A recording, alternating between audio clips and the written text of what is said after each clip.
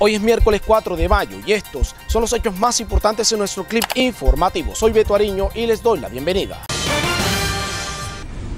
Como Tulio Rodríguez Gómez, de 43 años, fue identificado el ganadero secuestrado en el corregimiento de Costilla, en jurisdicción del municipio de Pelaya, sur del Cesar. Donde estaba con su señora y estaba con su, hijo, una camioneta eh, con cuatro personas, eh, se lo llevan directamente a Convención Norte de Santander, es dejada en libertad eh, su señora, es dejado en libertad a su hija y obviamente retenido él. ya tenemos la tropa del Gaula, el Gaula, la Sijín, en todo ese sector de Convención Norte de Santander.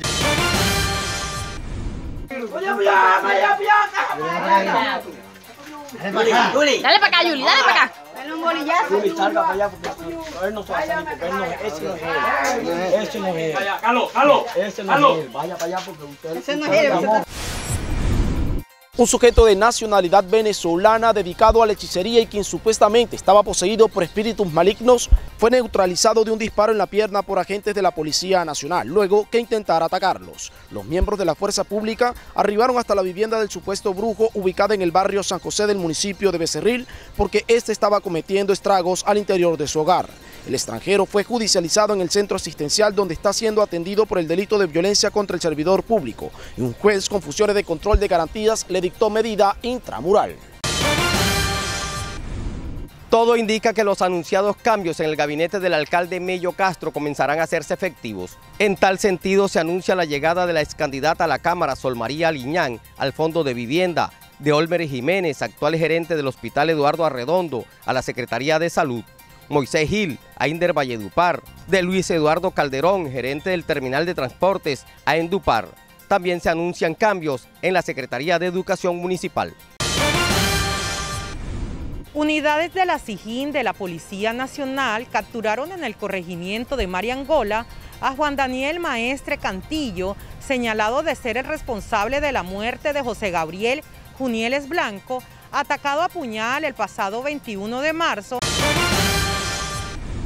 El gobierno Lo Hacemos Mejor entregó dotación a cuerpo de bomberos de 13 municipios del Cesar una inversión de un poco más de 800 millones de pesos para hacer esta entrega de estos elementos como son cascos, mangueras, eh, extintores, eh, todo el equipo del traje. Eh. Los elementos de protección personal para los bomberos tienen una vida útil.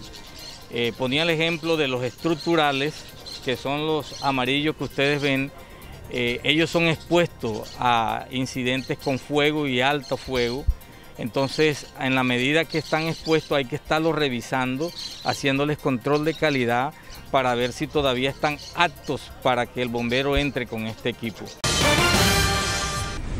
El Ministerio de Educación Nacional renovó el registro calificado del programa de contaduría pública de la Universidad Popular del Cesar, seccional Aguachica.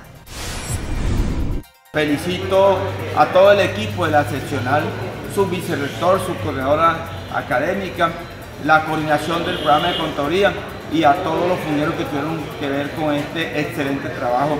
Y felicitar a los estudiantes. La Sala de Casación Penal de la Corte Suprema de Justicia absolvió del delito de peculado al exalcalde de Valledupar Luis Fabián Fernández, proceso por el que se le había emitido una orden de captura. El doctor Luis Fabián Fernández Maestre en ningún momento afectó la inversión social, lo cual es uno de los elementos que se requieren para la configuración del mentado delito. Que esta decisión además deja sin piso las decisiones adoptadas en el pasado por el Juzgado Segundo Penal del Circuito de Valledupar y por la Sala Penal del Tribunal Superior de Valledupar y no solo tiene efectos de cosa juzgada, no solo da por terminada la actuación, sino que también pone fin a todas las restricciones provenientes de este proceso como por ejemplo la orden de captura que pesaba en contra del doctor Luis Fabián Fernández Maestre. Consternados se encuentran los habitantes del municipio de La Cagua de Ibirico tras la noticia del suicidio de una menor de 16 años, ocurrida al interior de una vivienda ubicada en el barrio Luis Carlos. La menor fue hallada suspendida de una soga ya sin signos vitales.